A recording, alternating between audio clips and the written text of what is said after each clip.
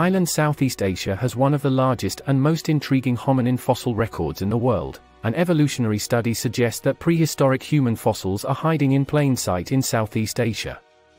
Indeed, many evolutionary naturalists of the late 19th century proposed that Asia, not Africa, was the birthplace of humankind because it is halfway between Europe and America and offers the best dispersal routes throughout the world, contrary to what English naturalist Charles Darwin had proposed in his 1871 book Descent of Man.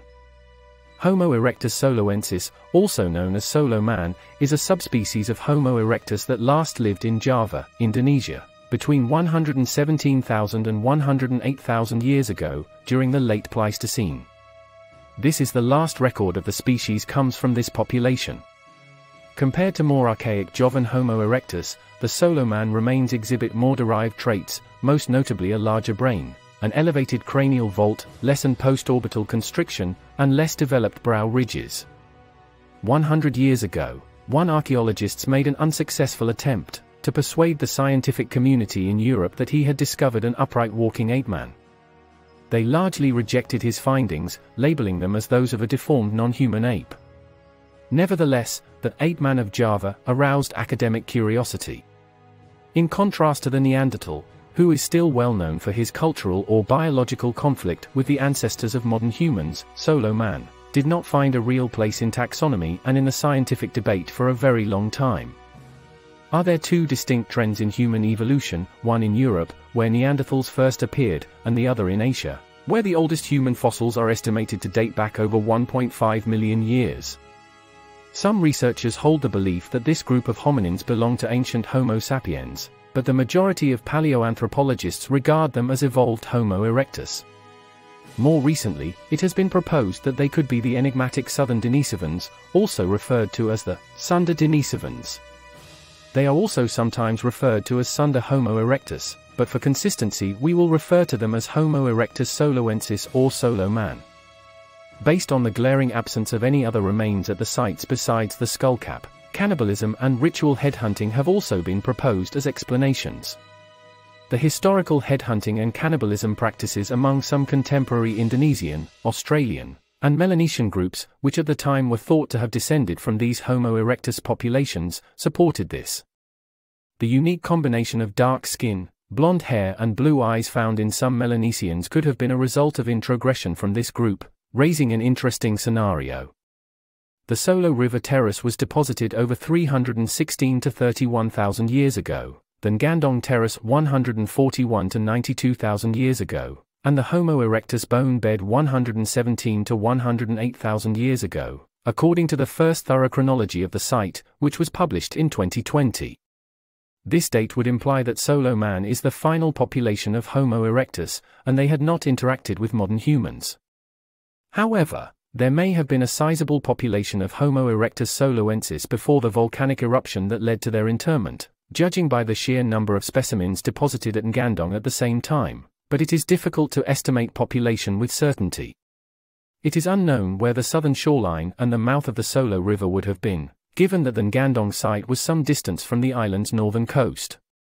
Using uranium-thorium dating, the Solo Man remains were first radiometrically dated in 1988 and then again in 1989, giving a wide error range of 200 to 30,000 years ago.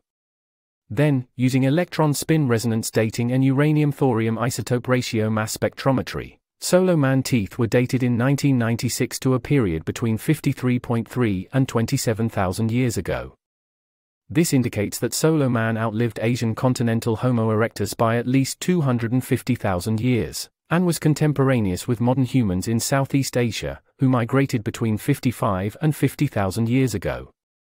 The Solo Man remains were redated to roughly 70 to 40,000 years ago in 2008, after gamma spectroscopy on three of the skulls revealed uranium leaching. This would still leave open the possibility that Solo Man lived at the same time as modern humans. T. Solo man's skull is oval-shaped, with thick brows, protruding cheekbones, and a prominent bone bar wrapping around the back.